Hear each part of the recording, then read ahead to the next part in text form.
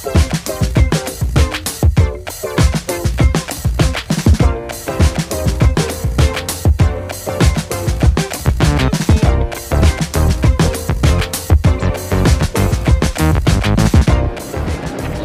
sih bisa yakin lah Saya rasa bisa, asalkan penyelesaian akhirnya itu lebih baik itu. kalau menurut saya pribadi sih yakin Ya, kemungkinan sih langsung karena ada Luis Milla bisa berbakat muda sekarang kayak Febri terus pemain yang baru muncul sekarang kayak Nico gitu. ya mudah-mudahan sih. Tapi kita harus optimis harus bisa. Lihat komposisi pemainnya kan sekarang udah lumayan bagus gitu. Terus pelatihnya juga kan bagus gitu. Kenapa enggak?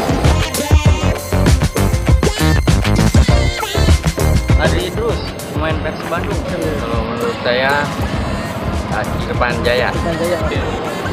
Satu dicoba itu pemain Arema ya Dedik. Ya, kayak Andik.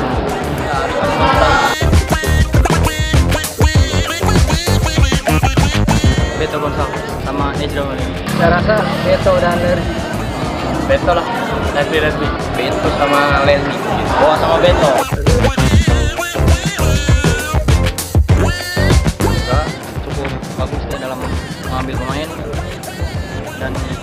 praktik strateginya juga bagus Saya rasa kekurangannya itu adalah finishing touch aja mas. Soalnya buat terlalu banyak buang-buang mas.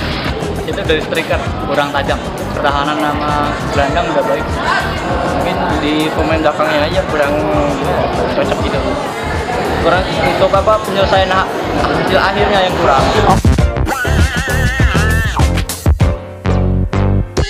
layak Saya rasa layak, tapi itu supaya bisa lebih baik aja mas buat sepak bola Indonesia. layak Kalau itu kurang tahu dah. Jadi kita lihat aja ke depannya. sangat layak sih ngeliat cara bermainnya kan cepat gitu hanya saja tumpul di lini depannya aja itu aja yang perlu diperbaiki